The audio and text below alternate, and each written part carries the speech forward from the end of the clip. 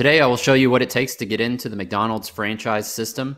There's two ways you can enter. You can either buy from an existing franchisee or you can build a new location.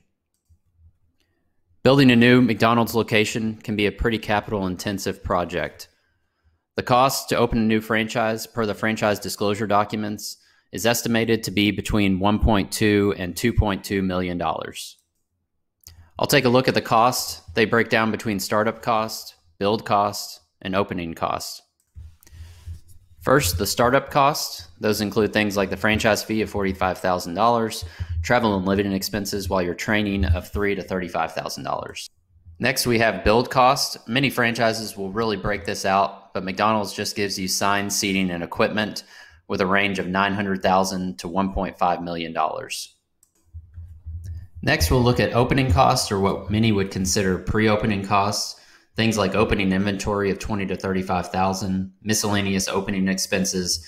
Think about advertising and telling the public that you're open for business, um, and then additional funds. These can be anything like uh, prepaid payroll or inventory. Next, we will cover buying a McDonald's franchise business, which is really the same process as buying any franchise business.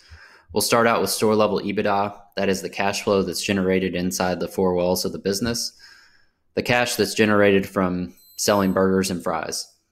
Next up, we will subtract above store costs, so things like payroll processing and legal fees, um, among other things. That will give us a corporate level EBITDA. That is the cash flow that is expected as a new buyer of the business. Uh, we'll multiply that by a valuation multiple. Most small restaurant franchises trade uh, below six times earnings. McDonald's will trade towards the higher end of that range given it's a higher quality franchise system. Last, that will give you the business valuation or the asking or buying price that you could expect in a transaction. Next, we'll run through the economics of a single McDonald's location. We'll start out with top line revenue of $3.3 million. Next, food and paper cost and labor cost being the largest cost, uh, food and paper at 26.5%, and labor cost at 27.3%.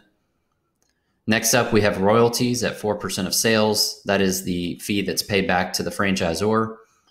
Fifth, we'll have advertising expenses of 3.2% of sales.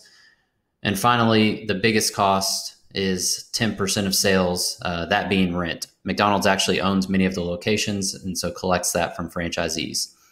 That will give you a store level EBITDA of 12.5% or $418,000.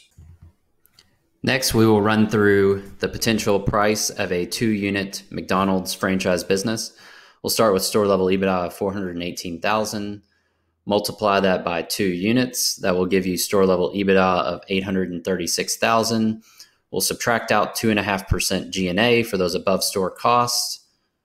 That will give us the cash flow or the corporate level EBITDA of $669,000. Last, we'll multiply it by a five and a half multiple. As I said, that range can vary, but for a small business, we think this is a decent estimate. And that will give you a valuation of $3.681 million. Thanks for watching. This is meant to be informative and not financial advice. Uh, please seek out professionals if you're looking to move forward with any sort of transaction.